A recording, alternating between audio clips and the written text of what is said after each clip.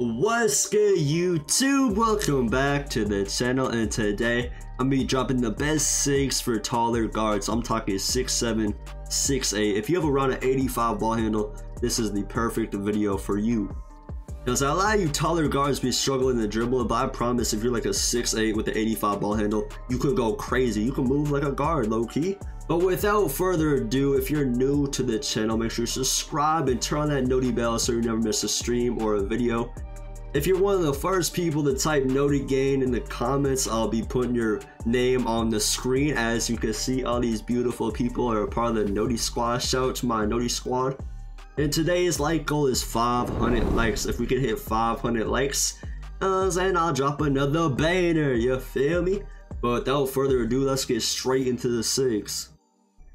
Now a lot of us, now a lot of you ISO demigods, this is around the same ball handle and speed with ball you're gonna have. If you're 6'8", 6'7", you're gonna have an 85 ball handle, 75 speed with ball. Like you could really move with the on a 6'8 with the 85 ball handle. I'm telling you, you could move. Like you could bop lockdowns, you could bop anybody, it does not matter. But now onto the SIGs. Now for the dribble style, you got three options. You got Kevin Durant. There's a lot of glitchy moves you can do with Kevin Durant. You got Magic Johnson. Magic Johnson is a speed boosted meta dribble style. Like if you want to be cheesy, there's a lot of cheesy speed boosts with Magic Johnson. Magic Johnson is by far the most overpowered dribble style, and that's the one I use. But if you want to combo up, you want to be a standstill dribble god, you know what I'm saying? You want to be like Steezo, you want to combo like crazy. Zach LaVine is the fastest, the best to combo with. Magic Johnson is more of a meta dribble style if you want to win games and go like if you want to be cheesy i would go with magic johnson. Or if you want to go with kevin durant kevin durant is like kind of meta kind of shifty kind of like kevin durant is all around pretty good. Magic johnson like we said meta zach LaVine is for comboing so in the gameplay you see right now i'm using magic johnson. And magic johnson works best for me. So i'd suggest put on magic johnson but i have you know more than one option if you don't want to put on johnson now we're gonna move on to Cinder Size Up, and every single year I use De'Aaron Fox. It's just the best Cinder Size Up in the game, the best to combo it, the best to get speed boost out of, the best, like it's just so good for a lot of things, you know what I'm saying? It's very fast, very, very shifty. You, gotta use De'Aaron Fox, but if you don't wanna use De'Aaron Fox, James Harden is also a very good one. James Harden, you need an 85 ball handle. De'Aaron Fox, you only need an 80. And I, personally, I like De'Aaron Fox better than James Harden. I use James Harden for a little bit, but I always like De'Aaron Fox better. Now for regular breakdown combos, I don't really use breakdown combos or the regular breakdown combos as much, so I don't have a lot of experience with this move. I don't use it that much, but as you can see, De'Aaron Fox is very good. If you look at the, my player right now, you get this little speed boost at the end of that breakdown. It's very cheesy, very overpowered. That helps me get open for a lot of fades. Now, for aggressive breakdown combo, not only can this move get you wide open? Because it and you jump to the side you can get a lot of people crabs you can get wide open off this move but you can also do this glitchy move right here. This move is crazy. I mean it's like a complete travel. You're basically cheating bro. You're breaking the game. This move is crazy.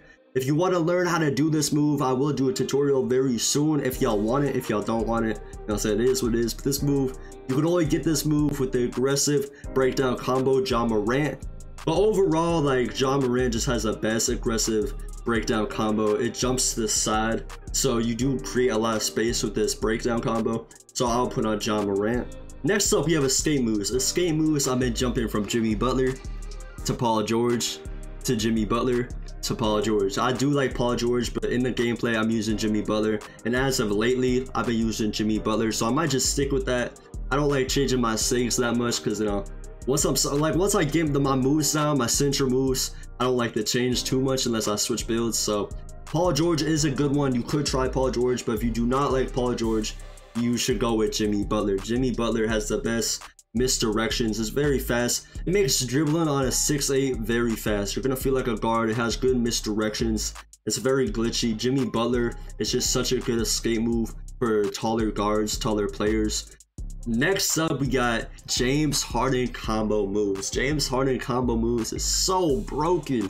The speed boost you get out of James Harden combo moves is insane, bro. I get the craziest speed boost and I fade off this speed boost as you can see in the gameplay. Like the The speed boost I get out of this combo move is absolutely crazy. Definitely 100% put on James Harden. Or you could try De'Aaron Fox. De'Aaron Fox wasn't that bad. But James Harden only takes an 80 ball handle. Definitely put on James Harden. For crossovers, you have two options. John Wall or De'Aaron Fox. I'm using John Wall right now, but I did use De'Aaron Fox for a good amount of time, for like a week or two. But right now I'm using John Wall. I do like John Wall, so I don't think I'm gonna change it. De'Aaron Fox and John Wall feel like basically identical. Like it feels like the same thing. So you can't, you really can't go wrong with De'Aaron Fox or John Wall. It, it's really up to you on this one. They're basically the same crossover, the same speed. They're both very fast. So it's up to you on this one. But personally, I'm using John Wall. Next up, we got behind the back, and Jamal Murray is the most explosive, most glitchy behind the back in the game. I'll be spamming this move.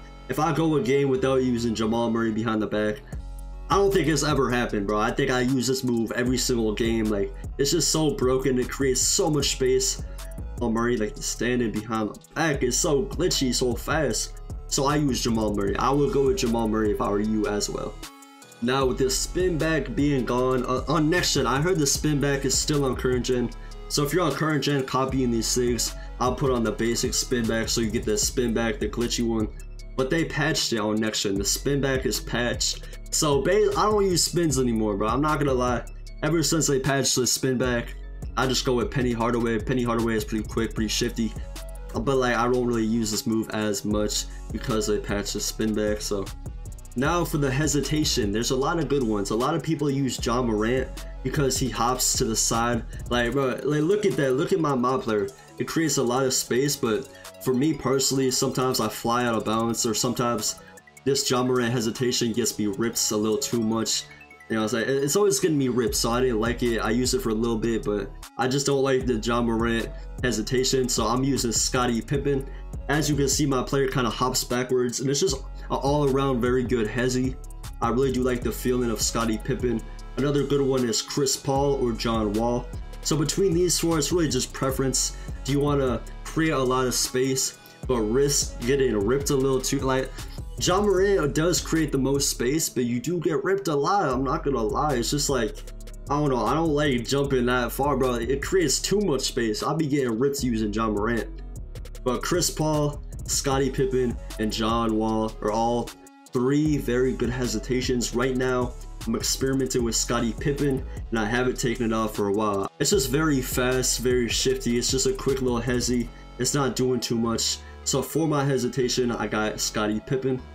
Lastly, for the signature moves, I got step back John Wall. Not only does it have a glitchy move and step back that creates you a crazy amount of space, you know what I'm saying? You basically walk backwards. Like, it's like a walk back this year. The John Wall move and step back is kind of crazy. Sometimes it flies you out of balance because you create too much space, but you know, I just like the John Wall step back. You know, I've kind of learned how to not go out of bounds with it because it's kind of OD, not gonna let.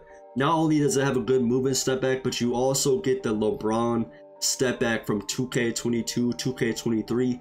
We all know the LeBron step back. You get that step back and then John Wall step back. So good moving step back, good standing step back. All around John Wall is the best step back in the game. Chris Paul is another good step back. I think you also get the LeBron step back in this one as well, but I'm using John Wall.